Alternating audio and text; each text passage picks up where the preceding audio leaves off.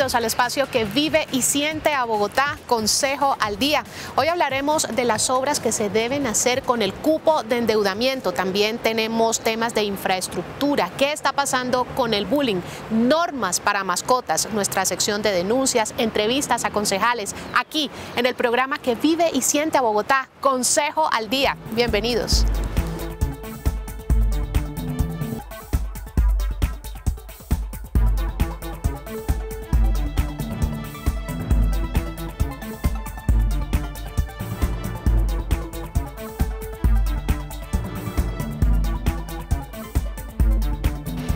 Proyecto de acuerdo tarifa estudiantil busca que los estudiantes en la capital del país solo paguen el 70% de la tarifa ordinaria del valor del sistema integrado de transporte público.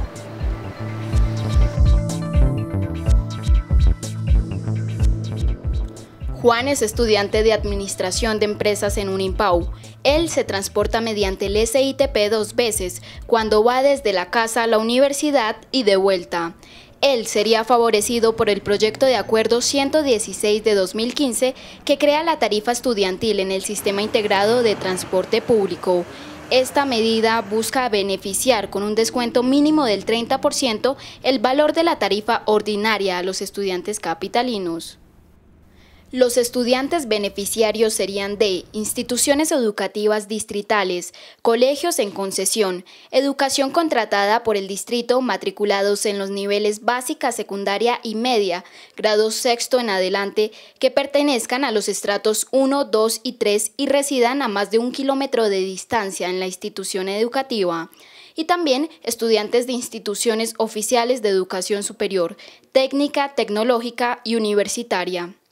La reducción sería del 30% del valor del pasaje, es decir, en Transmilenio los estudiantes pasarían de pagar 1.800 a 1.260 pesos y en los buses zonales no pagarían 1.500 sino 1.050 pesos.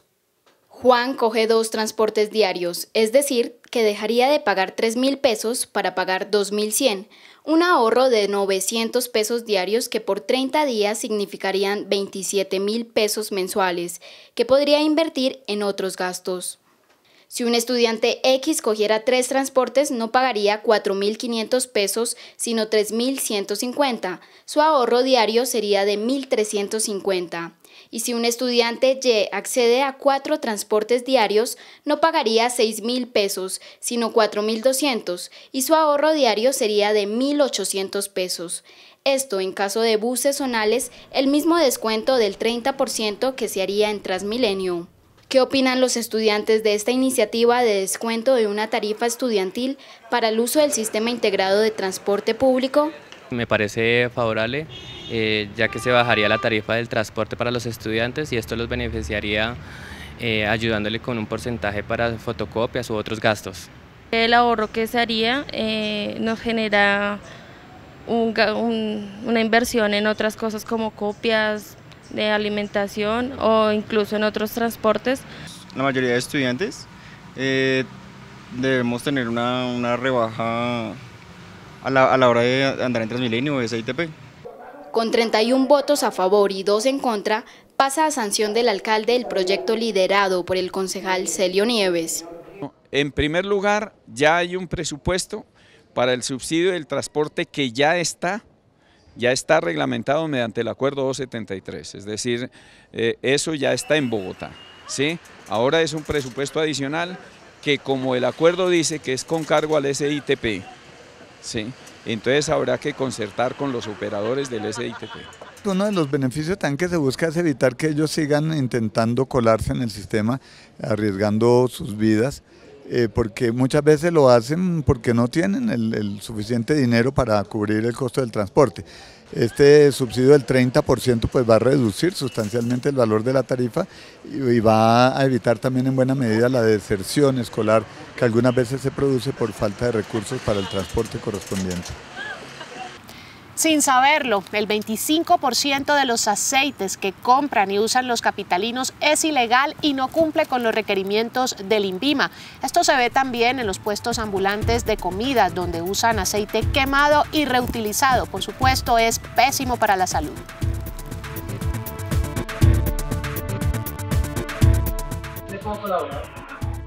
Vecino aceitico. ¿Cuánto vende? El concejal Julio César Acosta denunció la existencia de un cartel de aceite vegetal en Bogotá.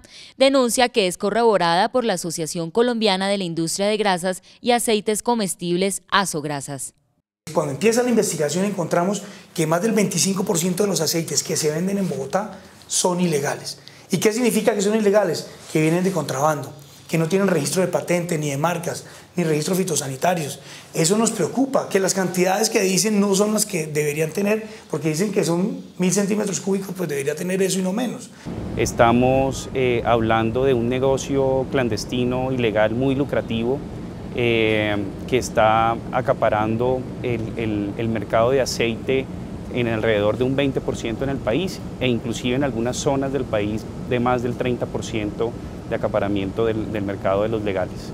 El aceite ilegal es contrabandeado, pero tiene una característica particular, es aceite reutilizado.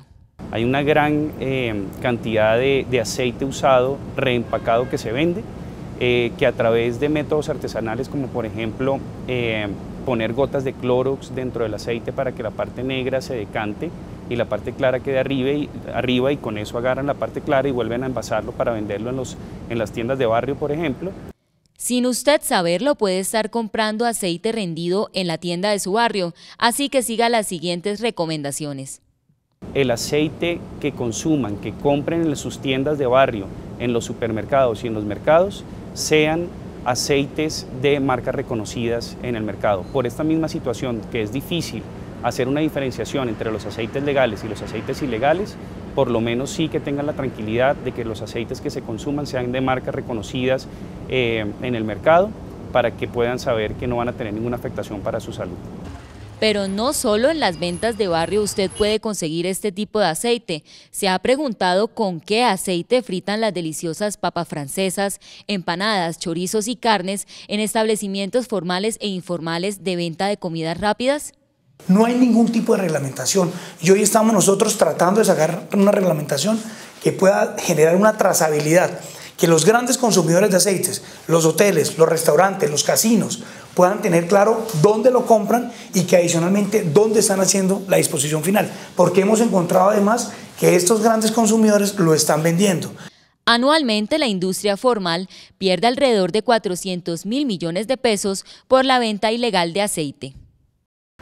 La administración distrital intensificó los operativos para exigirle a los dueños de perros de razas consideradas potencialmente peligrosas el registro de estas mascotas ante las alcaldías locales. ¿Cómo va este operativo? Se lo contamos aquí en Consejo al Día.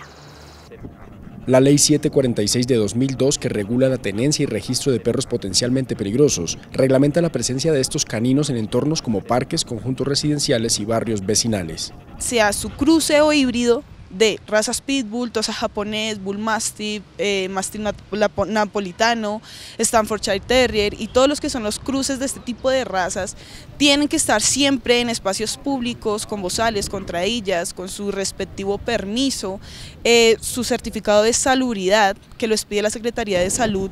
Sin embargo, esta reglamentación no se cumple a cabalidad en Bogotá y se vuelve a cuestionar si existe un verdadero cumplimiento y conocimiento de la ley por parte de los propietarios de estos animales y de las propias autoridades el desequilibrio en donde vemos a los dueños que tienen un pitbull, que tienen cierto tipo de razas con un nivel de energía alta que no los pueden controlar, en donde vemos en los parques perros agarrándose con otros perros, personas golpeando, personas maltratando al canino porque simplemente no saben cuál es su comunicación. Entendamos por comunicación que son acciones comunes entre uno, dos o más elementos, ya sea en el mismo canino o en el mismo humano. Entonces este conflicto, esta fricción nos ha hecho llevar a pensar de que no me puedo acercar a un perro porque simplemente me va a agredir o me va a morder, cuando desconocemos sinceramente la naturaleza del animal.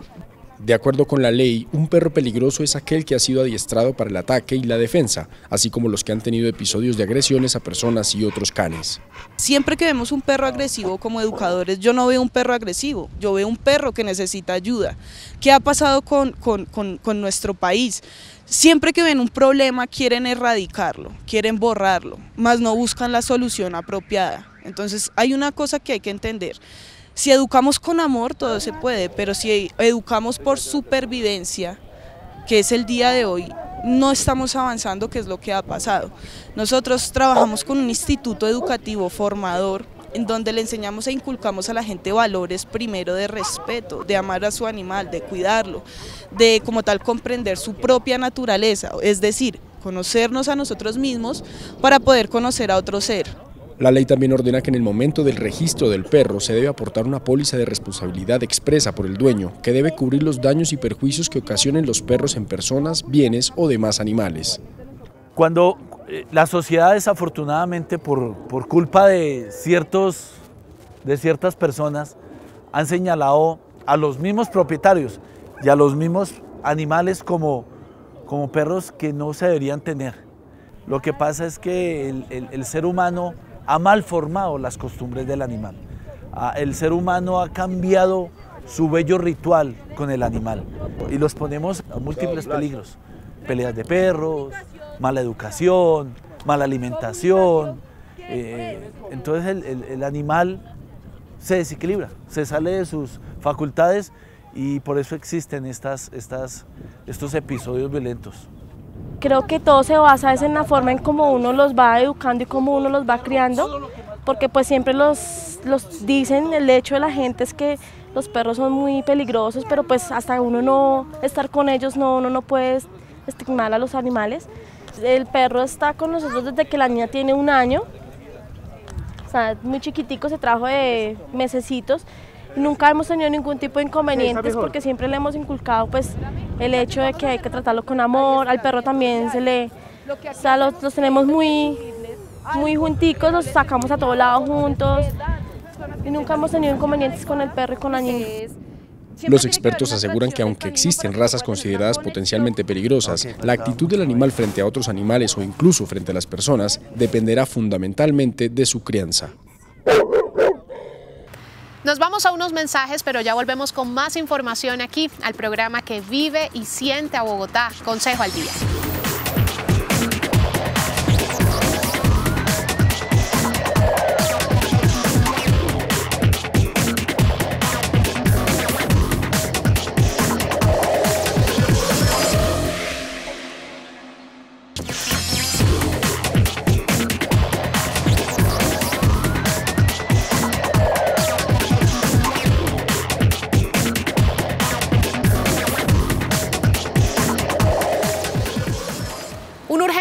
Llamado a la administración distrital hizo el concejal Venus Albeiro Silva para que se construya uno de los tramos de la avenida longitudinal de Occidente. De no hacerlo, advierte el concejal, se estaría incurriendo en un detrimento patrimonial. La avenida longitudinal de Occidente, anunciada desde mediados de los años 80, aún está en veremos. Hace pocos días se generó una nueva polémica, pues la administración distrital anunció la instalación de jardines infantiles y un parqueadero de grúas en algunos de los predios por donde pasaría el trazado, lo cual demoraría la construcción de la mega obra. Si no la construimos en el tercer tramo o ahora el primer tramo que es desde Metro Vivienda Bosa hasta la 13, pues ahí va a haber un detrimento patrimonial porque ahí ya se ha construido 1.7 kilómetros, está ya el puente de Canoas y todo lo que tenía que hacer Cundinamarca. El cabildante aseguró que el tramo comprendido entre Soacha y la calle 13 en Fontibón no presenta ningún impedimento en materia ambiental para demorar su construcción.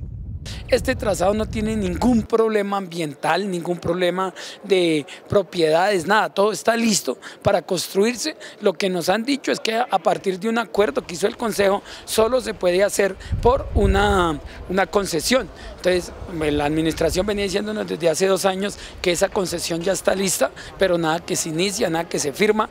La situación en materia de movilidad al suroccidente de la ciudad, especialmente en el ingreso por la autopista sur desde Soacha hasta Bosa, es caótica. La comunidad exige que se agilicen los estudios de factibilidad presentados para la consolidación de este tramo. No hay la suficiente capacidad para, para, para descongestionar. La única sería, por ejemplo, la, autopista de Medellín, que es la que hay, la del sur. Y allá por Bosa Centro, pues es muy, muy complicado por allá la salida y tanto como la entrada, el ingreso del, transporte, mucho, mucho carro.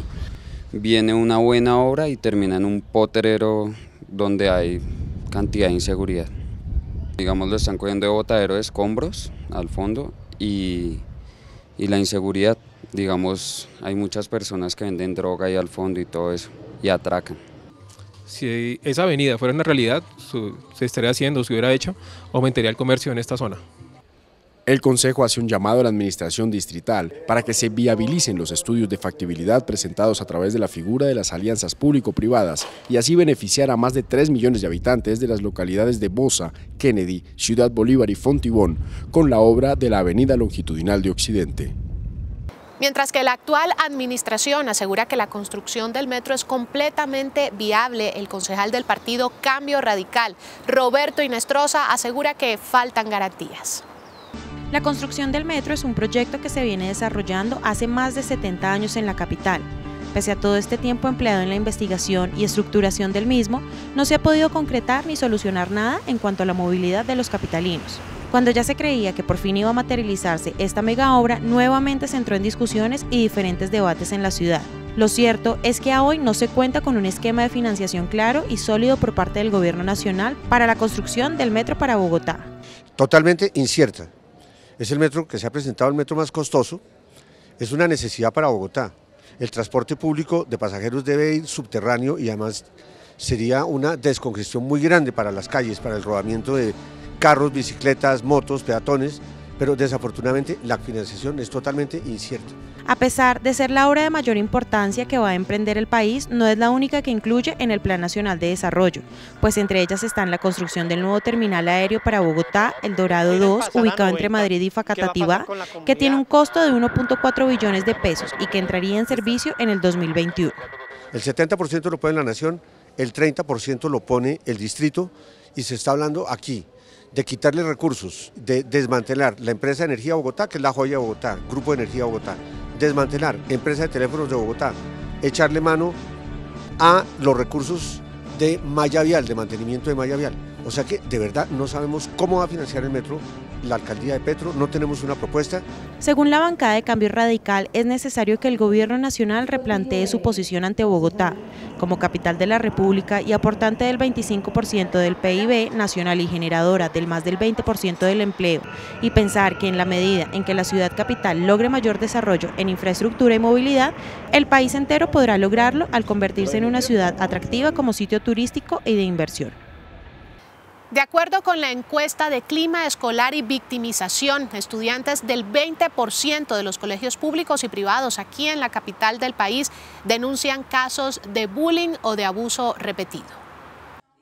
El bullying o matoneo es un tipo de violencia, un maltrato silencioso, pero una encuesta realizada por la Secretaría de Educación de Bogotá asegura que el 10% de los estudiantes hombres de colegios públicos son víctimas de matoneo. En el caso de las mujeres, los reportes también alcanzaron el 10%, mientras que en los colegios privados los reportes son de un 12% y 9% respectivamente. Consejo al Día consultó la voz de una psicóloga educativa experta en bullying, autora del libro Me está molestando bullying. ¿Qué es bullying? Bullying es una de las formas de violencia que se da normalmente en colegios, pero no solamente en colegios, porque también puede ser en sitios eh, como el club o como el parque o como el barrio, es decir, donde uno se encuentre con los mismos muchas veces, seguido, frecuentemente, y de para poder tener una relación social de jerarquía. ¿En qué edades se presenta el matoneo? El bullying está definido para edad escolar es decir, desde chiquiticos que entren, pero normalmente un bullying a nivel intencional para poderlo definir está desde los seis. Em, el resto es torpeza social, pero desde los seis ya se hacen eh, daños intencionales. Entonces ahí ya podríamos empezar a ver un diagnóstico distinto hasta que se gradúan de colegio. ¿Por qué un niño o adolescente matonea a otro? El que hace bullying Em, ha aprendido en casa a ser violento. Entonces, o lo ha aprendido porque es víctima de violencia, él mismo, o lo ha aprendido porque lo ve hacer, aunque no sea víctima de violencia. ¿Cómo reaccionan los padres de un niño víctima de matoneo? Pues normalmente los papás les dicen, pues dele, es que yo no nací para ver un hijo mío que no se sepa defender o, o no quiero tener yo el hijo que no se sabe defender, entonces pues dele un puño.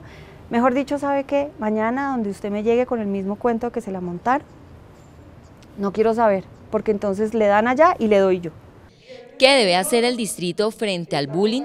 Esto es lo que opinan los concejales. Hoy hay que volver a educar en valores y construir una nueva moral en nuestros niños y jóvenes. Y eso no solamente debe ser responsabilidad del colegio, también tiene que ser un trabajo mancomunado de todas las familias en Bogotá. Y yo creo que el día que volvamos a recuperar la familia como núcleo fundamental y real de la sociedad, con seguridad allí ya tendremos un mejor entorno, unos mejores jóvenes, disminuiremos el bullying y también el maltrato a las mujeres. La falta de comprensión, de ponerse en el lugar del otro. Y yo creo que el bullying en los colegios, pues lo conocemos porque se hacen encuestas, nos preocupa. Se trata de jóvenes, se trata de niños, de niñas. Pero si hicieran esa encuesta en los lugares de trabajo, en las entidades del Estado, en la empresa privada, yo creo que se arrojaría resultado similar. Es un tema de la sociedad, de los valores que estamos construyendo de manera colectiva. Según cifras de la Secretaría de Educación, solo en el 20% de los colegios públicos y privados se presentan casos de matoneo o bullying. Sin embargo, esta cifra puede ser mayor teniendo en cuenta los casos no reportados o denunciados por temor de las víctimas.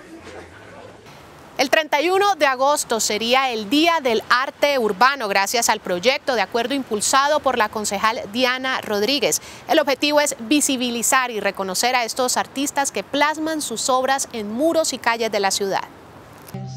La carrera séptima entre la Plaza de Bolívar y la Torre Colpatria es sitio emblemático para los artistas urbanos que residen en la capital. Sus expresiones artísticas y culturales circulan de manera cotidiana en este corredor. Soy artista yo creo que desde que nací y trabajo acá en la séptima hace 14 años, ya voy para 15. Pues aquí dibujando en la séptima llevo dos años, hace dos años, pero ya hace como cinco o seis años que salí a estudiar. En la séptima, pues desde que es peatonal estamos haciendo arte, música en la, en la vía, en la séptima de Bogotá. Aunque muchos los consideran comerciantes, el valor está dentro de cada pieza con la que plasman un poco de sí, pintando, grafiteando, cantando y transformando estados de ánimo. Eh, ser artista urbano es, no sé, como dejar llevar los sueños que uno tiene para que otras personas lo vean y también como, como captar los sueños de otros y plasmarlos en un papel o en un lienzo. Valorar también eh, el, trabajo y el esfuerzo que hace cada artista. Una opción de trabajo, eh, además es chévere, mantiene uno viajando, la gente le colabora a uno, se entretiene, a uno hasta se ríe con la gente, porque el show mío también tiene pues algo de humor, tiene coplas, tiene eh, parodias que son temas humorísticos. Por esta razón, en el Consejo de Bogotá se planteó el Día del Arte Urbano, dispuesto a celebrarse el 31 de agosto, mes de múltiples actos y festividades por ser en el que se efectuó la Fundación de Bogotá y en el que se realiza también el Festival de Verano, entre otras. Para que los artistas bogotanos pues, se encuentren en, en, el distrito, en el estado, un apoyo importante para su actividad, para el desarrollo de estas actividades y también para ponerle un poco de orden a este tipo de actividades que algunas veces pues eh, eh, generan cierto caos en la ciudad, pero que mientras exista digamos una implementación por parte del distrito puede llegar eh, también a ser una actividad muy bien organizada que genere un impacto muy positivo para la ciudad de Bogotá.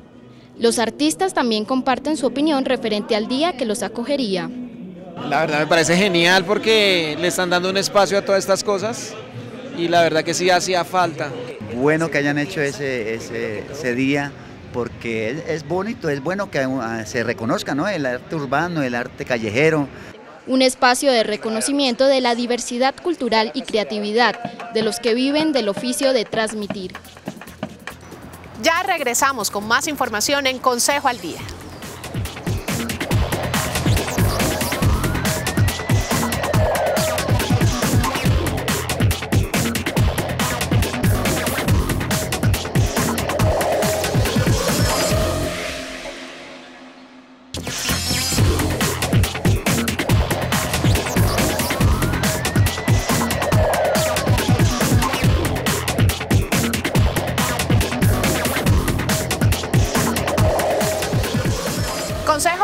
Visitó Expo Ciencia y Expo Tecnología 2015, un espacio dedicado especialmente para que jóvenes y niños se enamoren de la ciencia. En esta oportunidad, tres pabellones albergaron 700 stands y por supuesto nuestro programa estuvo ahí. La Feria de Expociencia y Expotecnología en 2015 reunió a más de 5.000 niños y niñas en un espacio donde compartieron sus proyectos y expusieron su curiosidad por la ciencia. Bueno, esta feria es una apuesta que le estamos haciendo desde la Asociación Colombiana para el Avance de la Ciencia de unir a diferentes segmentos de la sociedad para hablar de ciencia, tecnología e innovación. Tenemos niños, tenemos eh, universidades, tenemos museos y tenemos atracciones para que niños, jóvenes, adultos disfruten de la ciencia y la tecnología que se produce en Colombia y también de la que se produce en el exterior que podemos usar y podemos disfrutar. Uno de los proyectos más destacados lo expusieron jóvenes de La Guajira, quienes desarrollaron un ingenioso sistema para reutilizar el agua lluvia en su región, afectada desde siempre por la escasez del preciado líquido. La idea nació de la problemática que viven las comunidades indígenas guayú de nuestro departamento, ya que ellos sufren una gran escasez de agua, lo cual ellos hacen unos pozos que les hacen llamar Hawái para depositar el agua lluvia y así satisfacer sus necesidades. Nosotros a base de esto hemos elaborado unos extractos en el cual pueda disminuir la turbidez del agua del Hawái para que sea más agradable para ellos. Aquí podemos notar la muestra de la diferencia que ha notado, ha tornado el agua.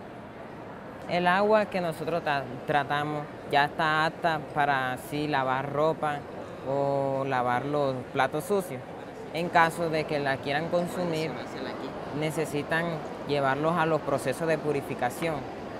En su decimocuarta versión, la Feria Expociencia y Expotecnología contó con tres pabellones donde los jóvenes expositores explicaron sus creaciones, en las que han trabajado durante meses. Y lo que nosotros también queremos es promover que cada día haya más científicos colombianos, que los niños que hoy se deleitan presentando sus proyectos de biología, ojalá sean los próximos biólogos colombianos. En esta feria, los grandes científicos colombianos del mañana dan sus primeros pasos. Este es un espacio donde los niños hablan de ciencia con otros niños y con gran fluidez explican detalles de sus innovadoras iniciativas a los adultos. ¿En qué consiste su proyecto? Bueno, mi proyecto consiste en cuatro lugares perdidos de Colombia que no son nombrados por los medios de comunicación ni en el aula de clase. De esos cuatro lugares escribí este libro llamado El Tesoro Mágico de Colombia. ¿Y cuáles son los lugares de Colombia? Eh, son la Reserva Natural Nucat, Serranía de Chiribiquete, Raudal del Guayabero y los cerros de Mavicure. Informó Charit Daniela Domingos. Charit Daniela, Charit Daniela, Consejo al Día. La comunidad de Puente Largo y Pasadena se opone a la construcción de edificios que superen los 15 pisos de altura. ¿Por qué? Porque va en contravía de lo que dice la UPZ de la zona.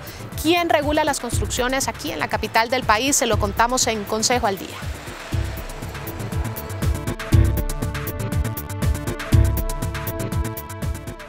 Algunos habitantes de Puente Largo y Pasadena temen que en sus zonas residenciales se construyan edificaciones tipo Space. Recordemos que Space fue un edificio demolido en Medellín por no cumplir con los protocolos de seguridad y sismo resistencia. Son varios los testimonios de propietarios de casas afectadas por la construcción de edificios. Nosotros ya hemos tenido una experiencia en la casa de una construcción al lado es una construcción de seis pisos. El daño o el deterioro que existió en ese momento de la casa fue todo el lado que colinda contra el edificio se vino abajo. Aquí a, mis espaldas precisamente hay un edificio, hay una casa que la van a constituir en un edificio de 15 pisos. En otras oportunidades nos hemos sentido afectados. Aquí precisamente a las dos cuadras eh, eso fue conocido por todo Bogotá. Se cayó con la construcción de un edificio, una casa que afectó tremendamente a sus dueños. Alfonso Cabrales se refiere a este proyecto inmobiliario denominado El Marqués, ubicado sobre la transversal 56 con 104B. Su licencia de construcción está en estudio en una curaduría. Los propietarios de las casas aledañas al lugar donde se construirá el marqués aseguran que al aprobarse la licencia se verán obligados a desalojar o a vender. Esta construcción representa un peligro inminente para mi casa. Las casas eh, construidas en esa época que fue construida la mía no tienen vigas de amarre, tienen cimentación muy buena en los, donde hicieron la casa.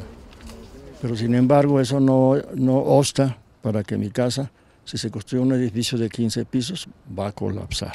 Esta es una zona de densificación moderada, no alta, por lo cual estamos en un sector 4. El sector 4 tiene un riesgo sismológico eh, bastante alto. Un proyecto de este tipo requiere hacer una sedimentación más o menos una, de 15 pisos hacia abajo para poder colocar los pilotes.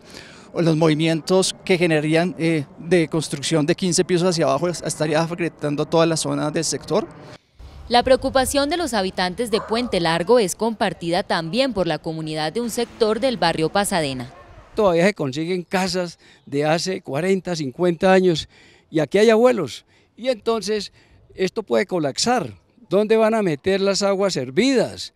Las condiciones eh, eh, higiénicas eh, sanitarias, el agua.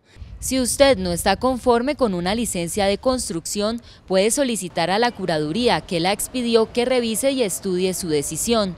Agotado este paso, puede dirigirse a la alcaldía local correspondiente y exponer las razones por las cuales se debe revocar. De no encontrar solución, diríjase a la Secretaría Distrital de Planeación. Si el distrito tampoco lo ayuda, deberá iniciar un proceso administrativo, contratar un abogado y exponer su caso en primera instancia a un juez administrativo. Lo más probable es que el pleito pase a una segunda instancia, es decir, ante el Tribunal Administrativo, y si se presenta un recurso extraordinario, será el Consejo de Estado el encargado de dirimir el problema. El concejal del Partido Verde, Carlos Roberto Sáenz, lideró un debate de control político sobre la situación de la red pública Wi-Fi aquí en la capital del país. Según el concejal, esta es insuficiente y no impacta positivamente en la ciudadanía. El Consejo de Bogotá analiza la situación actual de la operatividad de las 120 zonas que proveen Internet a través de conexión Wi-Fi gratuito en Bogotá. Allí tenemos otras preocupaciones porque nos habían dicho que, bueno, tenemos un crecimiento a 125 puntos, nos ha dicho la administración, eso está bien, pero la inquietud de la ciudadanía es que el impacto que tienen las antenas en el sector son muy pequeñas. Durante el debate, el cabildante advirtió que el acceso real en los 43 meses a redes sociales mediante Wi-Fi libre solo llega al 2% mensual, cifra que no coincide con la cobertura y el impacto esperados. Eh, de suerte que es muy importante que haya 125 puntos, pero no sabemos si el impacto real de los equipos que contrataron para eh, tener esa señal sea la mejor. Y además de eso no hay interconectividad entre ellos. Entonces esos 125 puntos pues son aislados, tienen dificultades de señal y no están señalizados. La gente no sabe dónde quedan. El equipo de Consejo al Día visitó varias zonas de Wi-Fi gratuito en Bogotá, aunque la conexión tarda algunos minutos, la señal es aceptable en cuanto a rapidez, pero deficiente en su radio de acción. Es decir, tenemos unas zonas que se caen con 10 o 15 usuarios, en donde se podrían tener muchos más, y lo que nos habían dicho es que los equipos estaban en condiciones de recibir más usuarios. Entonces, allí tenemos una dificultad, y la zona gris está en que la ETB, la empresa de telecomunicaciones de Bogotá, no nos contesta, dice que eso es un secreto de Estado. El debate fue suspendido por la inasistencia del gerente de la empresa de teléfonos de Bogotá, Saúl Catán, para que responda por la situación actual de las zonas Wi-Fi en Bogotá. Los concejales solicitaron a la Procuraduría abrir una investigación por el incumplimiento a las citaciones del funcionario. ¿Qué es el Consejo de Bogotá?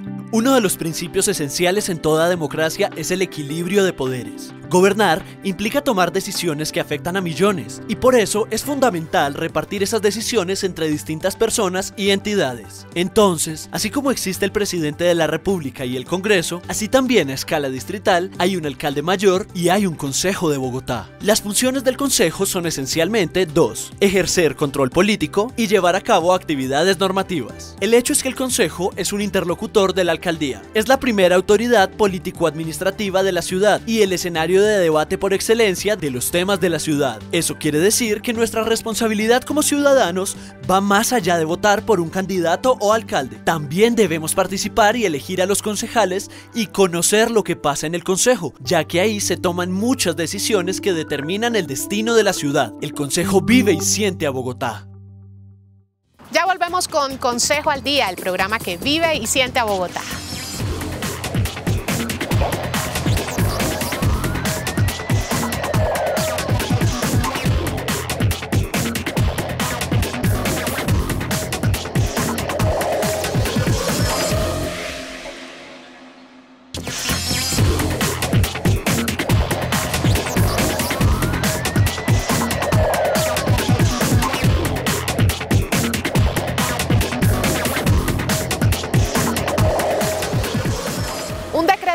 Expropiaría predios para el uso del sistema integrado de transporte público para sus equipamientos y parqueaderos prendió las alarmas entre algunos ciudadanos aquí en la capital del país, esto a través de las redes sociales. Se habló incluso de expropiar la clínica Barraquer, pero ¿qué pasó en realidad?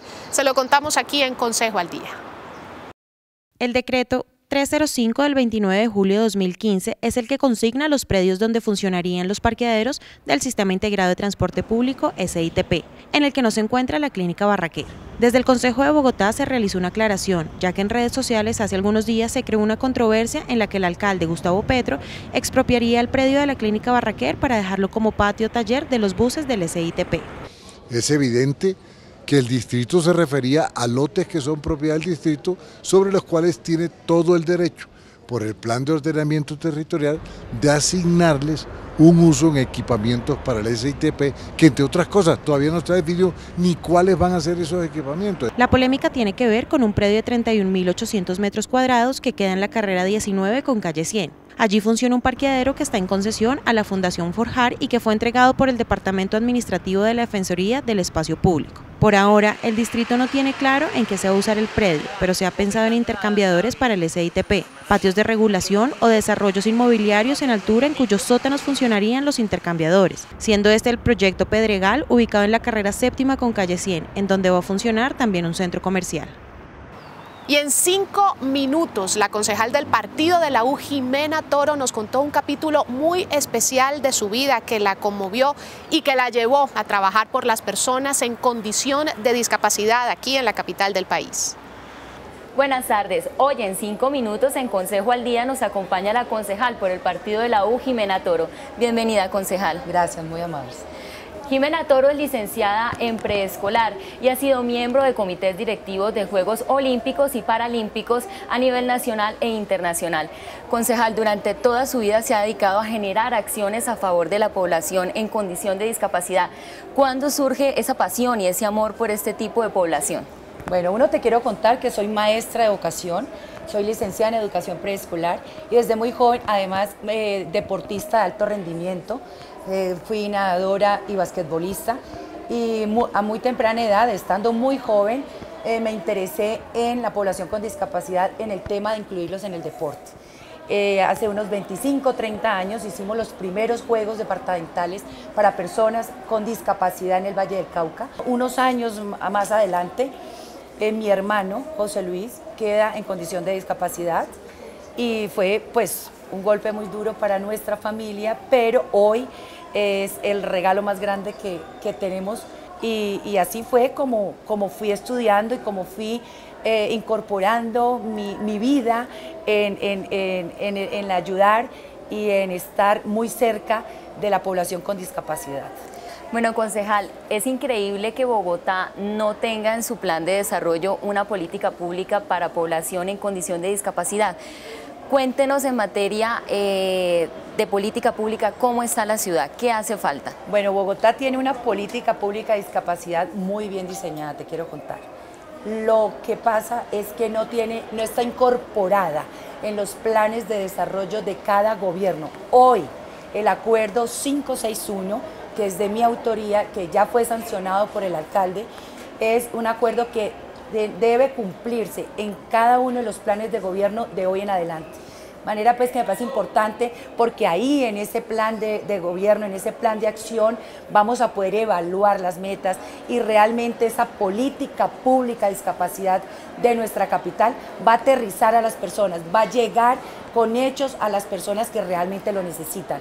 Es por eso la importancia de este acuerdo de ciudad que por primera vez Bogotá va, a contar con él y obviamente el próximo alcalde o alcaldesa de nuestra ciudad eh, va a tener que incorporar esta política pública en cada uno de los planes, programas, en todo transversalmente para que realmente esta política llegue a los que lo necesitan, que es la población con discapacidad. Concejal, cuéntenos por qué es importante visibilizar el oficio de los cuidadores y cuidadoras de la población en condición de discapacidad. Bueno, yo eh, en Bogotá estamos hablando que el 70% son mujeres cuidadoras de hijos de niños con discapacidades severas eh, y el 30% son hombres. Te voy a contar un caso eh, exactamente. En Ciudad Bolívar, en dos barrios muy cercanos, hay 84 niños en condición de discapacidad. Las madres hicimos ese, tratamos de hacer este programa, unas trabajan y las otras son, eh, cuidaban pero las que comenzaron a trabajar no quedaron sino tres de este programa porque ellas no quieren dejar sus hijos ni siquiera con la vecina, pero entonces, ¿cómo podemos ayudarles a ellas? Con teletrabajo, me parece importante el teletrabajo para que puedan trabajar, mejorar su condición de vida y adicionalmente estar cerca de sus hijos. Otra cosa importante es la parte psicosocial, el descanso, que nosotros le propiciemos a estas cuidadoras y cuidadores que tengan esparcimiento. Hay muchas cosas que para trabajar y ese protocolo te quiero contar, les quiero contar a todos ustedes que es muy importante para esta población. Concejal, ya para terminar, eh, la administración está obligada a revisar la carga tributaria en cabeza de personas con discapacidad. Cuéntenos un poco más acerca de esto. Yo pienso que iniciar algo con fundamentos, con obligatoriedad, para el gobierno distrital me parece muy importante. Me parece importante que se haga ese estudio socioeconómico de las personas con discapacidad o cuidadores que tengan estos predios para que realmente el gobierno distrital le rebaje el 30% de, de, de, por pago oportuno. Me parece que es muy importante, parece que hemos dado este paso trascendental para que la carga tributaria a la población con discapacidad, a los dueños de predios eh, y a los cuidadores y cuidadoras se les haga este beneficio que tanto lo necesitan y que realmente se lo merecen. Muchas gracias, concejal, por acompañarnos en cinco minutos. Es muy bella su labor. Y a ustedes, televidentes, nos vemos en una próxima misión de Consejo al Día. Muchas gracias a ustedes. La bancada del Partido Conservador promovió un debate sobre criminalidad y seguridad en la capital del país.